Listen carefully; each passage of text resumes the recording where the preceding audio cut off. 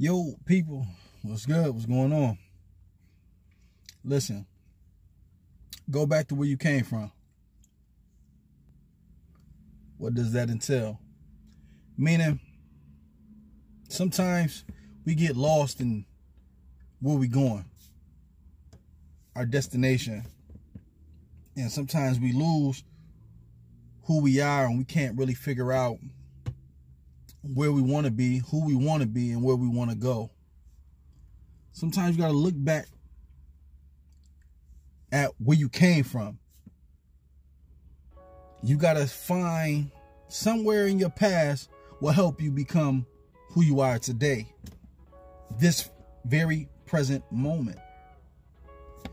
And I really got to say, like, when you, a lot of times we find ourselves indulgent on the past uh, the good, the bad, and the ugly.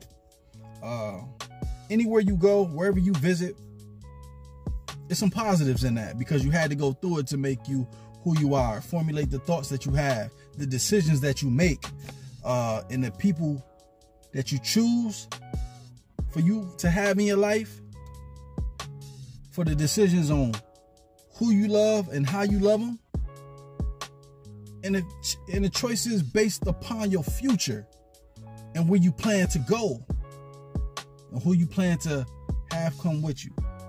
But keep in thought, keep in mind that everybody not going to be able to come with you.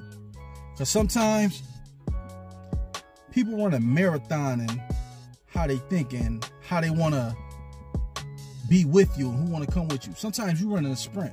Sometimes you're going to have to separate because they're not going at the pace you're going. And that's okay. That's quite okay.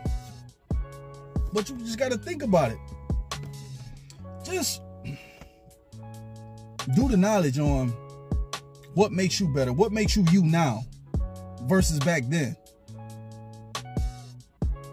And I don't want to talk in circles, but I know you get what I mean.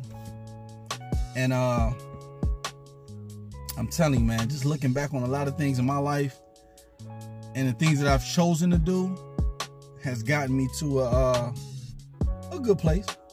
There's some choices that I wish I could be right or uh, do differently, but hey, this already has happened. I don't want to give you it is what it is mindset and my talking points to you.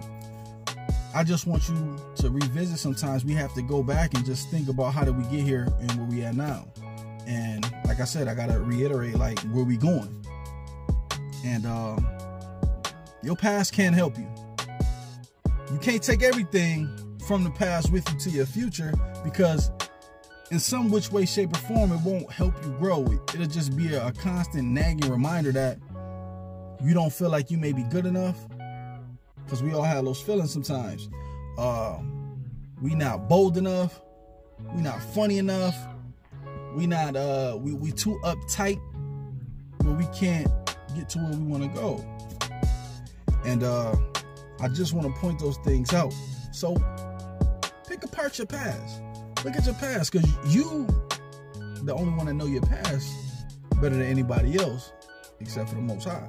But i just want to you know i had to throw that in there because it's things that we love to do what we want to do but we got things holding us back you got to take a deep look. You got to do some self evaluation and go there. But know that you are free to leave your past behind if you're starting anew. Please know that. Don't feel like or don't think that, you know, your past is your end all, your be all, and it's your actually of your presence as of now because it's not unless it's some decisions you've made that's gonna hinder you from making a better future for yourself. You understand me? And uh man go back to where you came from. Find your root. I don't care what it is. Anything you can think of i'm pretty sure you can go back to the root of it. As long as you can remember and do some things with it. What is it you doing in your everyday life that can help you? That was that was in your past, rather I should say. Whatever was in your past, you could take something from it. You cannot do the same things you once did. Don't repeat past mistakes. You know? Keep yourself focused. Keep in mind, you're free to leave anytime you want.